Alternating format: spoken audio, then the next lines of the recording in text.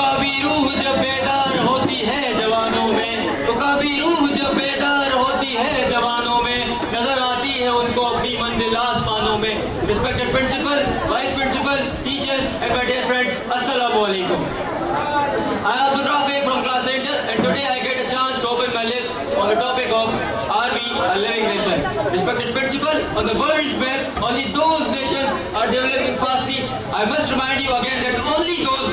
are developing very fastly whose leaders are honest and loyal to their homeland.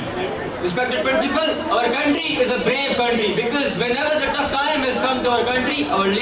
soldiers are ready to sacrifice their lives for our country, for the protection of our, our country. Dear friends, just remember that we lived under the many empires for the ages, but our nation never loses their hope. Our nation always remains as a living nation. In the, in the last of my speech,